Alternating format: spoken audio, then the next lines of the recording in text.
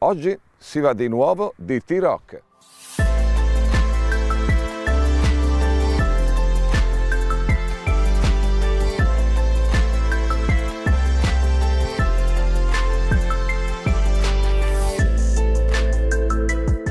Già perché il SUV compatto di Volkswagen lo avevamo già provato, con il piccolo 1000 TSI 3 cilindri da 115 cavalli, poi col 1600 TDI con la stessa identica potenza. Ma ci mancava ancora da provare quello che per ora rimane il top di gamma, il 2000 TDI da 150 cavalli, che è l'unico fra l'altro che consente di avere anche la comodità del cambio automatico e la sicurezza delle quattro ruote motrici. Del suo look, della sua linea originale, ne abbiamo già parlato e comunque piace molto. Magari non in questo colore, io ne sceglierei uno un po' più vivace, più giovane, ma se questo vi piace è l'Indium Grey metallizzato con il tetto nero, nel caso 680 euro in più. Anche dentro è vero ci è piaciuto subito, molto giovane, tecnologico, ma non proprio impeccabile, soprattutto per le plastiche utilizzate. È tutto assemblato con cura, però quelle della plancia e dei pannelli delle porte sono un po' rigide. In molti si sono lamentati di questo, abituati poi con la Golf, ma speriamo che in occasione del restyling di Metavita migliorino un po' questo aspetto. La trazione integrale con gli organi della trasmissione 4Motion, come la chiamano loro, riduce la capacità del bagagliaio di una cinquantina di litri, ma non per questo diventa piccolo.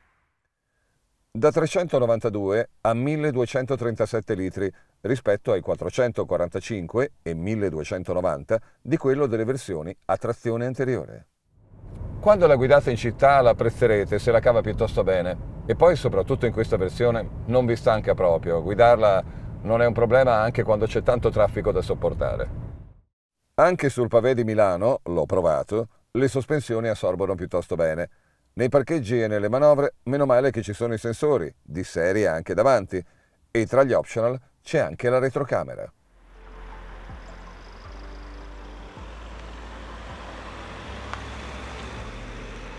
Lasciata alle spalle la città, il T-Rock si guida volentieri anche tra le curve. Il brio non gli manca. Nonostante il peso maggiore di questa versione rispetto al piccolo 1000 che avevamo provato, il turbo diesel si rivela rapido in ogni situazione.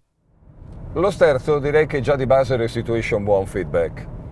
Un consiglio, se potete, fra gli optional, scegliete le sospensioni a controllo elettronico. Per cominciare in città renderanno l'auto più confortevole e visto che le buche non mancano mai, non è una brutta cosa. E sulle strade extraurbane avrete un'auto più sicura, più precisa e se decidete anche di guidarla in maniera più sportiva, beh, eh, vi soddisferà anche tra le curve, anche perché meno rollio significa avere un feeling di guida diverso, un'auto più precisa e non guasta mai. In Volkswagen lo chiamano Adaptive Chassis Control, il DCC, che adatta l'assetto al profilo di guida scelto è offerto abbinato allo sterzo progressivo, che tra le curve lo rende più incisivo e piacevole da guidare. Cambia davvero tanto e se avete cerchi da 18 pollici o addirittura da 19, io ce li metterei da 19, l'assetto diventa un po' meno rigido. Costa 1350 euro, ma sono ben spesi. Anche nei lunghi viaggi in autostrada il T-Rock si rivela un buon compagno di viaggio. A 130 all'ora, in settima, ronfa ad appena 1900 giri, se serve riprende rapidamente con il cambio DSG pronto a scalare nella marcia giusta. Il comfort è garantito anche dall'ottimo lavoro fatto per insonorizzare il 2000 TDI, che a dire il vero non è invadente e si fa sentire solo se spingete tanto. Certo si sente che siete su un'auto a gasolio, ma direi che comunque hanno fatto un buon lavoro. Si sente solo qualche fruscio dinamico alle velocità un po' più alte generato dagli specchietti e un pochettino il rumore di rotolamento delle gomme, ma niente di così importante. Il cambio DSG è una garanzia perché offre una notevole dolcezza di funzionamento, ma anche una notevole rapidità. Se selezionate la modalità di guida sport, poi cambia ad un regime superiore. E poi sfrutta al meglio la coppia del motore e vi aiuta a consumare di meno. Come? Nelle modalità di guida eco e normal usa almeno sempre una marcia in più.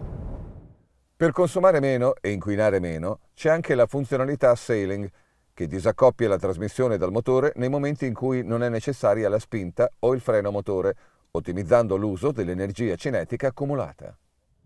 Ormai conosciamo molto bene le qualità di questa piattaforma MQB che condivide con l'Audi Q2 e con altre cugine del gruppo. Le conferisce un buon comportamento dinamico, insomma questo SUV compatto è molto equilibrato.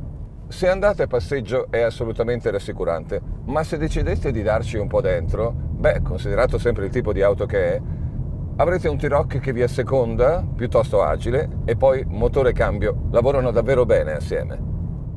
L'efficacia della trazione integrale ho potuto verificarla solo in un paio di occasioni, quando sull'asfalto c'era veramente tanta pioggia.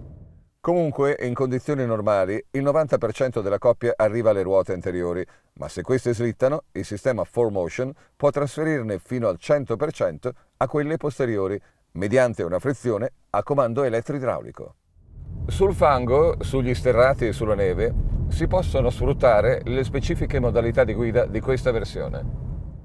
Infatti il comando Active Control nel tunnel centrale offre anche modalità di guida specifiche. Ruotando la rotella coassiale si può infatti settare l'auto per la neve, snow, o per la terra e la sabbia, off-road, oppure c'è anche la modalità off-road individual per regolare in modo separato la risposta di sterzo, meccanica e limitatore di velocità in discesa.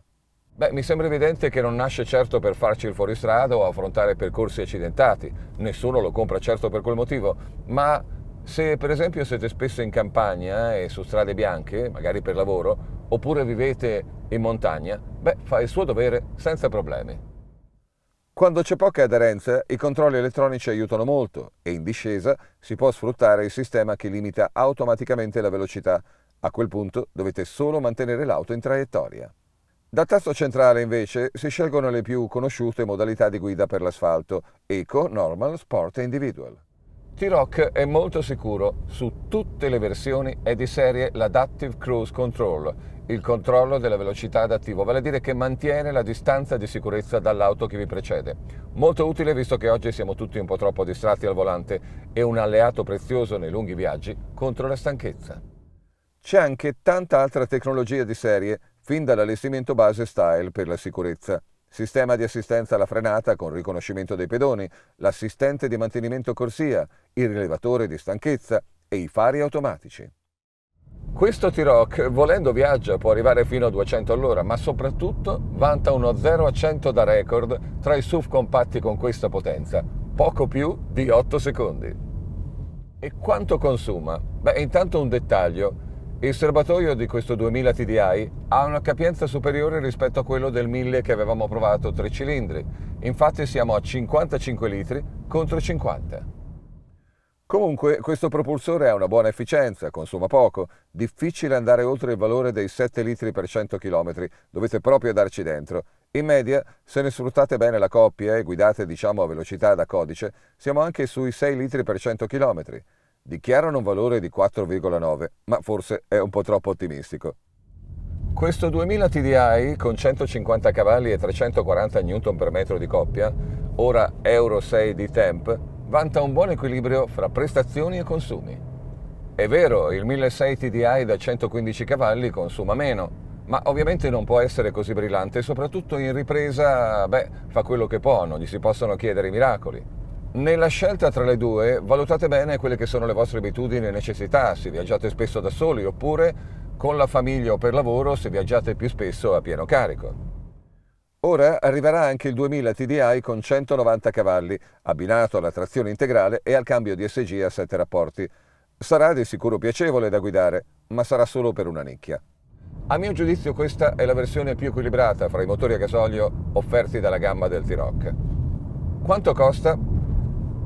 Si parte nella versione entry level style da 24.000 euro e di serie offre non poco.